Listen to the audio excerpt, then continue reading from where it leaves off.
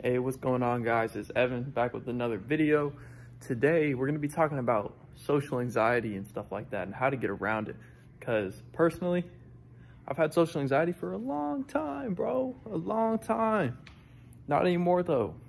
So I've been focusing on myself, bettering myself and uh, learning ways to get around these sort of things, you know what I'm saying? So social anxiety, I'm not gonna sit here and pretend, I'm not gonna preach like I know everything about anxiety. I don't, I don't research this shit. I just know like what I went through and what I felt like and how I fixed it. You know what I'm saying? Um, I just want to say, if you have anxiety of any sort, I just want to let you know that there is ways to fix it and there is ways to improve it and, uh, you know, make yourself feel more normal.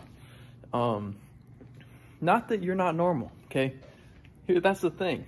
Having anxiety is a very normal thing just exploring my dinner options right now.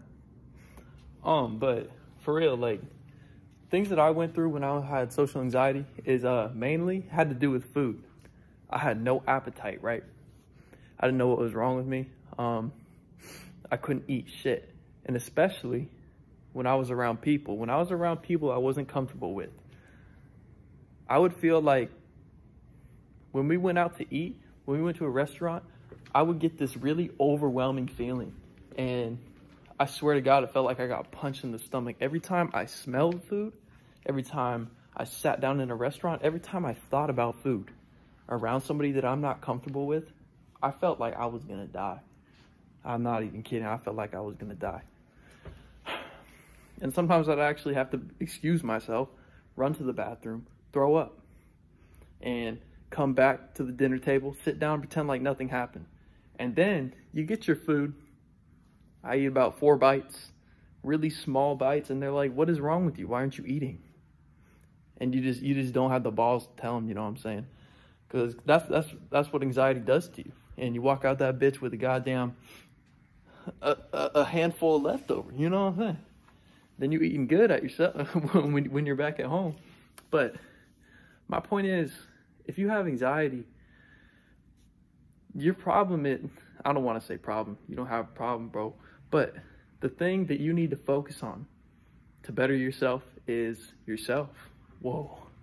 You need to focus on yourself because if you're eating around people and you are not even comfortable with yourself, right? And you're trying to bring other people into the mix, brings all type of distractions like talking, things people take for granted. Like so many people take not having anxiety for granted. They go out to eat, have normal conversations, everything's fine. It's just like something that uh, normal people can do, you know what I'm saying? Um, but not, not in your case if you have anxiety. Um, so yeah, you just need to focus on yourself. And something that I did to help myself with uh, my social anxiety is um, one, no nut semen retention. Stop doing that. You're gonna feel way better. You're gonna feel way more clarity in your life. Um, you're gonna start focusing on yourself. You're gonna see improvements. And something that semen retention actually helps you with is um, self-confidence. That's like a big, big thing of, what do you call it? Uh, social anxiety. Um, a lot of anxiety is like triggered by having low confidence, you know what I'm saying? So once you start semen retention, um, once you start spending time on yourself, doing things that uh, help you get to your goals, um, you're gonna start being more confident. And slowly, I'm not gonna say this is gonna happen overnight, but slowly but surely, you're gonna start seeing improvements in your confidence and you're gonna be able to make improvements, whatever it is that you struggle with anxiety.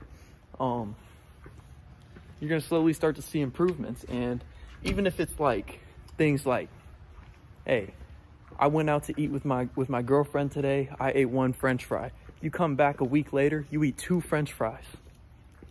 That's an improvement, right? You could eat one piece of dust. And you come back and you eat two pieces of dust. You're making changes, you know what I'm saying? You're doing big things out in this bed.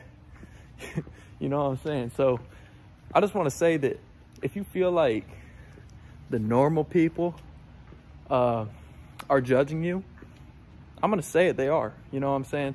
I am not gonna sit here and capillary to your face and say that uh, they think you're normal because they think you're abnormal. But you're not, you know what I'm saying? Everybody has social anxiety. Don't worry about it, bro. Things are definitely gonna get better. If you are a savage and you take care of yourself, connect with your higher self, raise your vibration. I'll see you guys in the next one. Peace out. Bye.